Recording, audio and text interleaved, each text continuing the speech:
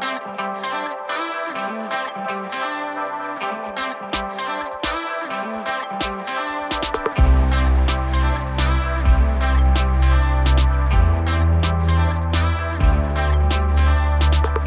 Becky Morris. I'm the production manager for Theatre Orangeville, which is where we are right now.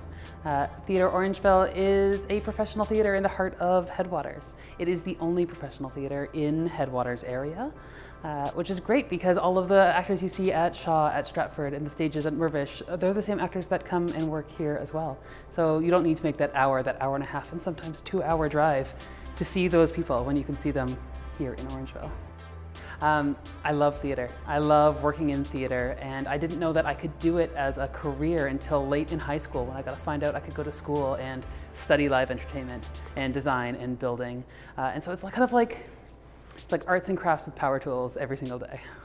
Um, what I love about my work is it's the people. It's the people that we get to work with. We get to work with the most diverse group of creatives, from actors to musicians, designers and builders.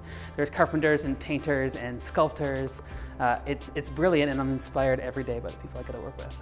The most favorite play that we've done at Theatre Orangeville was close to 10 years ago. It was called Step Right Up, and it followed the lives of um, circus performers in the 1920s. Uh, we'd actually had a little bit of uh, hiccups here. There was a small fire and huge obstacles to overcome. So not only was the show dynamic and memorable for me, but so was the uh, camaraderie of artistry in all of the people that came out of the woodwork to help us get to the final endpoint over such a short period of time.